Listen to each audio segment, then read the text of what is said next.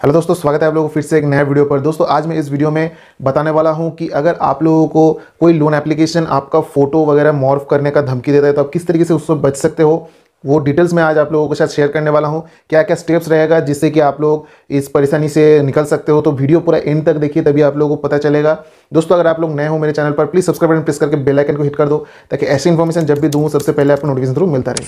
तो दोस्तों, जैसे कि आप लोगों को फ्रॉड लोन एप्लीकेशन जो सात दिन वाला लोन एप्लीकेशन होता है, वही इस तरीके का धमकी आप लोगों को देता है कि आपका जो भी फ़ोटो है, आपका जो भी आईडीज़ वगैरह है, जो भी है, आपका फ़ोटो मॉर्फ करता है और आप लोगों को भेजता है या फिर आपके कॉन्टैक्ट लिस्ट को भेजता है। तो ये एक बहुत बड़ा परेशानी का बातें है जो कि आप सभी जो है झेल रहे हो। आज मैं आप लोगों को थोड़ा बहुत जो है आप लोगों को राहत मिलेगा, आप लोगों को जो भी प्रोसेस बताऊँगा, अगर आप लोग उसी तरीके से चलते हो तो थोड़ा बहुत आप लोगों को इससे छुटकारा मिल सकता है, ठीक है? देखिए, ये अगर भेजेगा किसी के कॉन्टैक्ट लिस्ट पे, उसको भेजना हम रोक नहीं सकते, लेकिन हाँ उससे प्रिवेंट कैसे करना है मतलब बचना कैसे है, उससे मैं आप लोगों को जो कि प्रोसेस है, वो मैं आप लोगों को बताऊँगा।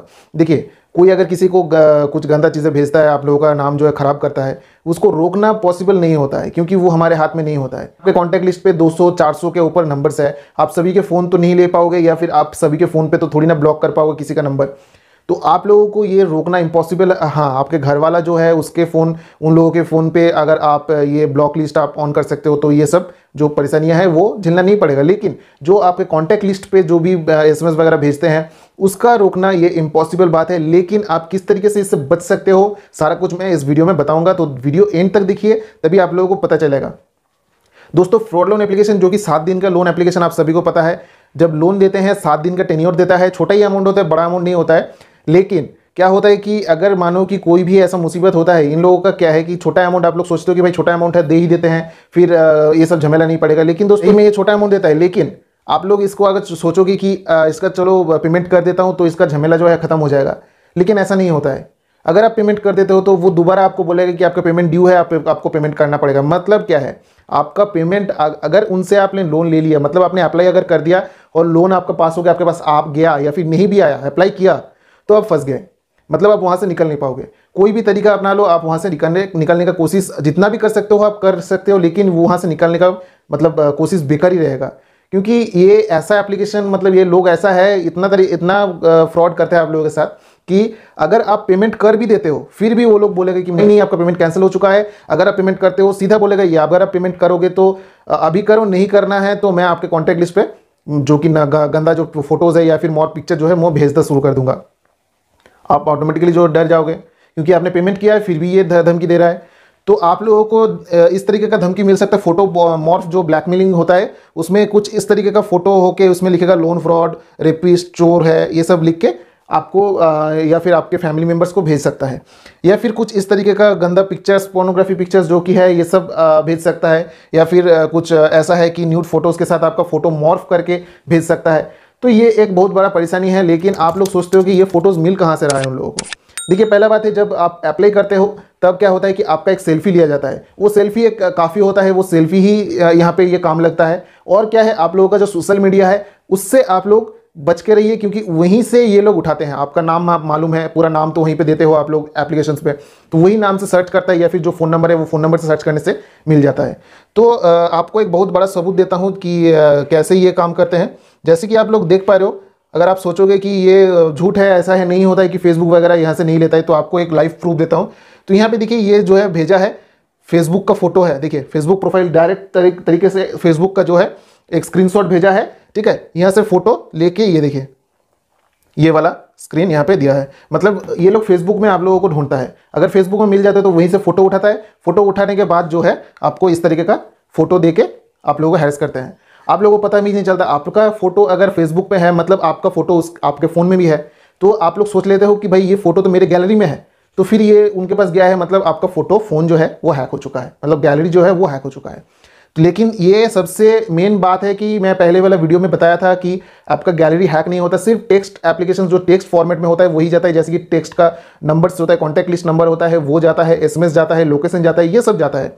लेकिन गैलरी हैक नहीं करता क्योंकि उसका साइज़ बहुत ही बड़ा होता है उसको आ, मतलब आ, स्टोर करना है पॉसिबल नहीं होता है क्योंकि आप अकेले नहीं हो। ऑल ओवर इंडिया में करोड़ों लोग जो है इससे लोन लिए हैं तो सबका अगर स्टोरेज करेगा तो इसका डेटाबेस बहुत बड़ा होना चाहिए लेकिन इतना बड़ा डेटाबेस नहीं होता है ठीक है?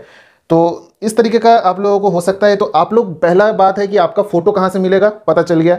आपको सबसे पहले क्या करना है? आपका फेसबुक में जो भी है, आपका फ़ोटो वहाँ पे सील करना है। मतलब जो कि प्रोटेक्टेड होता है, दिखेगा ऑप्शन मिलता है कि कोई भी आपका फ़ोटो मतलब बिना परमिशन के अगर आपका फ्रेंड नहीं हुआ तो आपका फ़ोटो वहाँ से नहीं ले सकता। देख भी नहीं सकता, ठीक है? स्क्रीनशॉट वगैरह तो दूर की बात है। तो इस तरीके का लॉक कर दीजिए फेसबुक का प्रोफ़ाइल में लॉक कर दीजिए, ताकि आपका फ़ोटो कोई सामने वाला पार्टी अगर आपका फ्रेंड नहीं है, वो स्क्रीनशॉट ना ले या फिर कुछ गलत काम ना करे। ये एक पहला स्टेप है, ठीक है? और मानो आपके पास फ़ोन चला गया, ठीक है? और आपने आपके पास इस तरीके का धमकी जो है, जो कि फ़ोटो मॉर्फ करने का जो कि धमकी आप लोगों को मिलता है तो इससे बचने का एक और तरीका है, क्या है देखिए?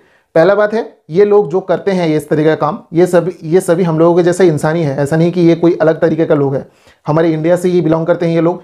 इन लोगों का कुछ ही मतलब क्या है, अभी के टाइम में इन लोगों को सभी को पता है कि पैसा कमाने का चूल किस किसको नहीं होता है, ठीक है? तो इन लोगों को पैसा कैसे मिलता है? कमीशन बेसिस में मिलता है और इतना ज़्यादा पैसा कमाते हैं इन लोग, ये लोग। तो इसके चक्कर में क्या होता है, ये गलत काम करते हैं। तो दोस्तों आप लोगों को समझ में आ रहा है कि किस तरीके से काम कर रहे हैं। जैसे कि ये फ़ोटो वगैरह मॉर्फ करते जो लोग, वो हमारे इंडिया से ही है।